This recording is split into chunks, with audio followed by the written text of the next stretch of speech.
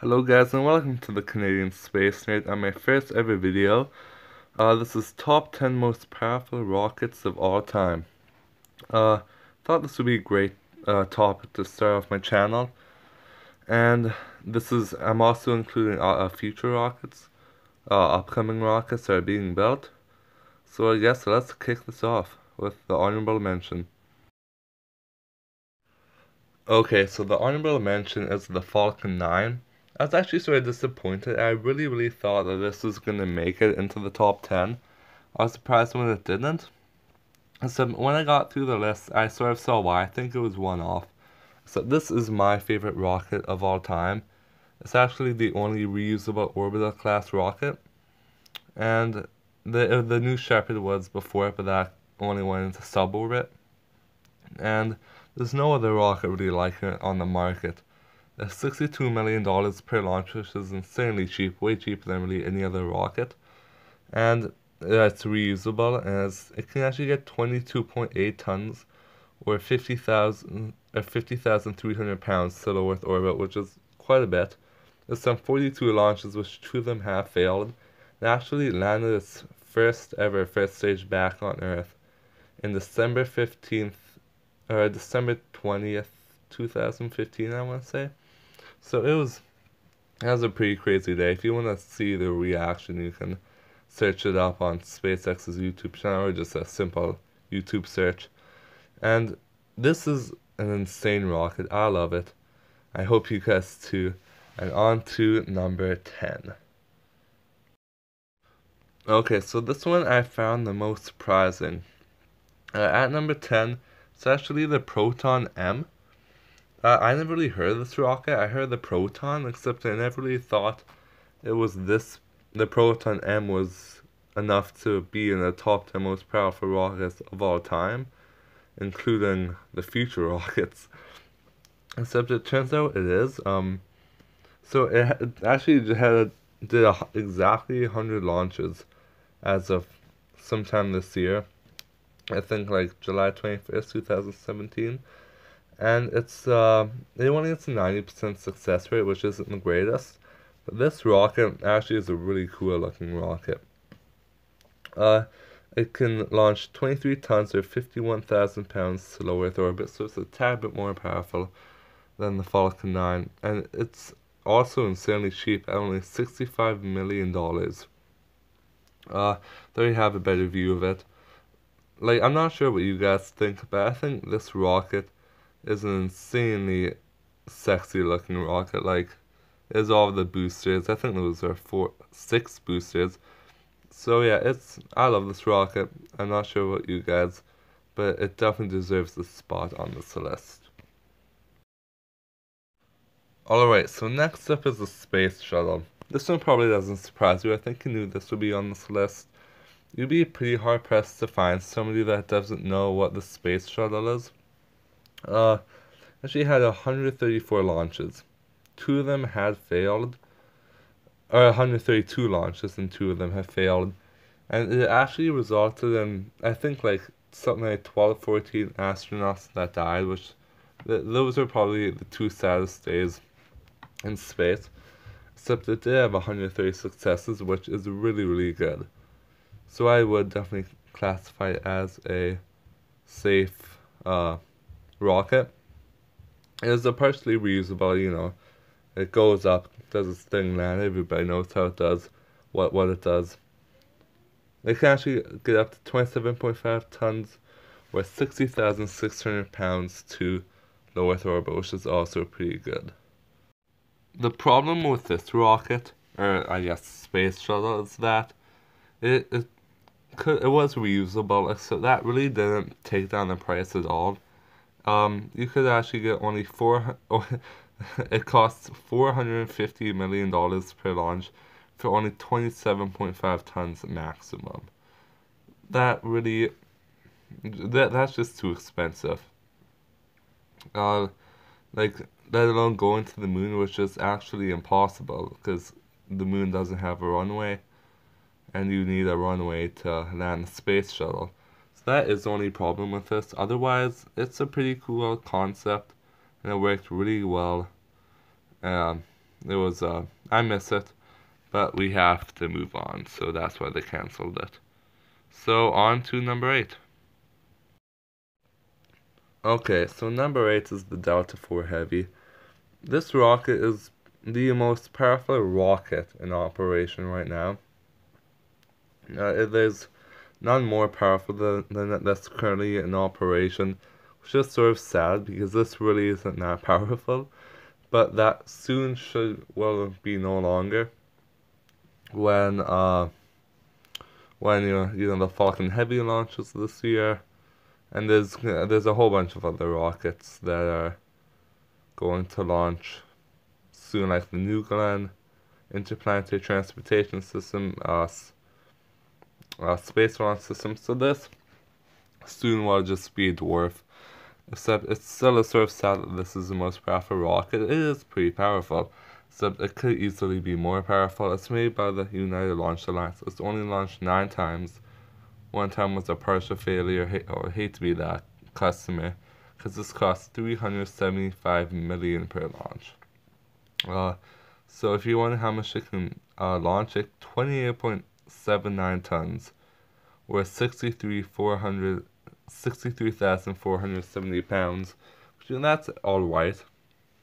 And Subsilla could be a bit more powerful. Um, this actually does use engines from the Cold War, but so it's pretty well technology. So yeah, the Delta Four Heavy, pretty cool rocket, but yeah, not really much special about it. Alright, number 7 I have New Glenn. I really really am very excited for this rocket. Uh, the reason why is that it's reusable, first of all, and second of all, this rocket is huge, okay? It's almost as tall as the Saturn V, the tallest rocket ever built. It's like this is actually the two-stage rocket that you see a picture of. There's a three-stage one which is even bigger. It's so close, and it just looks so cool. Um, it's reusable, and I, I it can get up to 45 tons or 99,000 pounds to low Earth orbit.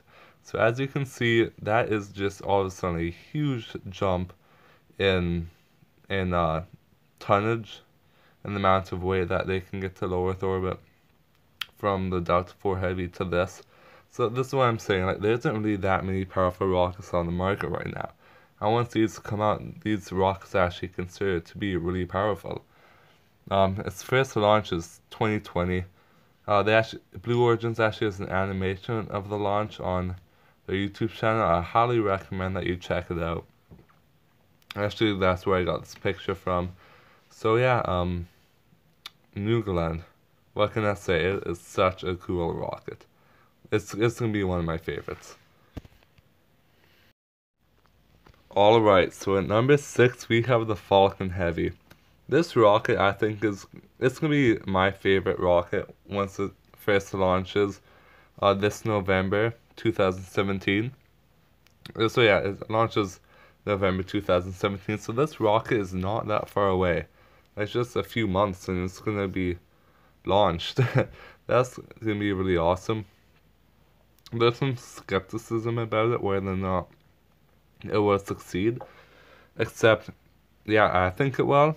Yeah, I'm hoping it will. And so it can get 63.8 tons or 140,660 pounds to uh, low Earth orbit, and only costs 90 million per launch, which is once again insane. Fully reusable, all three of the first stage boosters will come down, and yeah, it's it's if you guys want to watch a rocket launch, I highly suggest that you watch the first Falcon 9 in November 2017. Alright, so the N1 rocket is a rocket that surprisingly not many people know about. And the reason is, is that it never really successfully launched. It was uh, it, it was in the space race to the moon, and this one actually launched before Apollo 11, a few months before, but it failed, and then it failed. It tried to launch a whole bunch of times up until 1972, and has all had four fails. It's a huge rocket, not quite as big as the Saturn V, and not quite as powerful. It can carry 95 tons or 209,000 pounds into low, low Earth orbit. So, once again, insanely powerful, but not quite as powerful as the Saturn V. But still a really cool rocket and definitely deserves a spot on this list. Okay, so you'd be so hard pressed finding somebody to know what Energia is. Practically it launched two times, both were successful. It was made by Russia. It was an insanely powerful space shuttle. Never even carried cargo, one with it launched once with a space shuttle, once without. But it was insanely powerful, like it was insane. It could carry 100 tons or 220,000 pounds to low, to low Earth orbit. And to, and if you remember, the space shuttle can only carry 27.5 tons to low Earth orbit. So this is a behemoth. Not many people know about it, just because it really didn't launch very much. Never carried a single payload, but still launched, so I did count it. And um, yeah, that is the Energia. Alright, so next up is the Space Launch System. This rocket is being developed by NASA, um, and it is sort of like the sort of sequel to the to the space shuttle. So it's a rocket. It comes with a Block 1, Block 1B, and a Block 2. Block 1 can carry 70 tons to low Earth orbit. Block 1B can carry 105 tons to low Earth orbit and Block 2 can carry 130 tons to low Earth orbit. So they're all uh, quite powerful, but you know, Block 2 is way more powerful than Block 1. There are several mi several missions scheduled for it. Uh, for, first one uh, will be putting the first parts of a space station in in uh, around the moon, and then after that they will probably do a launch the Europa Clipper with the Space Launch System. And then they'll also do the first man launch in 2021 to 2023 to continue on the space station and keep on adding on to that space station. And it will cost $500 million per launch, so very expensive. Alright, so the Saturn V is the mother of all rockets. Uh, its first launch was in 1967 for Apollo 4, and its last launch was 1972 or 1973 for the Skylab, and its last manned mission was 1972 for Apollo 17. Practically, this took the first astronauts to orbit the moon, the first astronauts on the moon, and it launched the first American space station. And but the reason why this was so, well, the reason why they quit making this, like, it was unprecedented how much money it cost. But it was like something like 165 to 175 million back in the day, but in current money it's 106, 100, 1.16 billion dollars per launch. So it'll be over a billion dollars to launch this. And so it took 140 tons, so it was huge um, 140 tons to low Earth orbit. This is what most people's favorite rocket would be. It's truly, it's actually it's probably the greatest machine ever made. Alright, so this is the coolest rocket you will ever see. It's being developed by SpaceX and it's called the Interplanetary Transport System, or ITS for short. This rocket, you will not believe how powerful it is.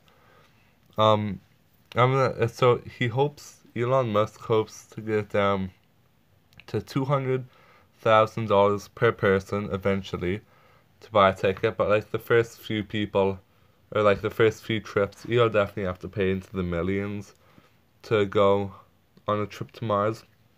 And that's practically what this is meant for, to go on a trip to Mars. Um, and colonize it.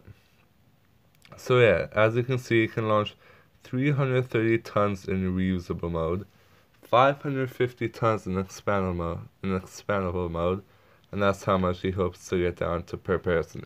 We don't know how much it, costs, it, it will cost per launch yet, Except essentially it would just be $200,000 times 100 because that's how many people will be going on this rocket. And so once again, insane rocket. This is the coolest rocket you'll ever see. Hands down, or that you can possibly see on the internet right now. That's not fake. Um, you can see the animation on SpaceX's YouTube channel. And yeah, that is my top 10 list. If you like this video, I would love it if you would hit that uh, thumbs up and subscribe button. I'm new to YouTube, but really help out. This is my very first video. And I really want to get into this. Um, if you guys want to see lots more videos, I can do any, any topics you want. Just suggest them to me and I will do them. And so, remember to smash that subscribe and like button. And I'll see you guys in the next video. See ya.